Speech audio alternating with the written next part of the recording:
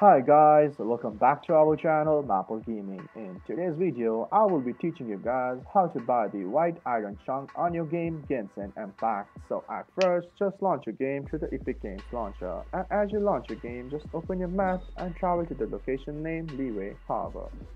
And as you travel to the location, just look for the shop which is in the courtyard of the Liyue Harbor. So you have to look for this guy named Sital and as you find it, just go and approach him and press F.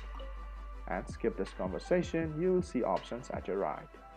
And go for the option, do you have anything beside on contracts for sale? And again skip it.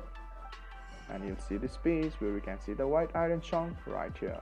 So guys, it can also be found in the wild or found on the Stormbearer Mountains or also in the fountain in Wolvendom so but if you are lazy you can just go here and buy it for 400 mora. So as you have the currency just click this and click on the option purchase. And select the quantity of the 10 at once and click in the option purchase. And it will be stored on your inventory. So guys that's how you buy the white iron chunk on your game Genshin Impact.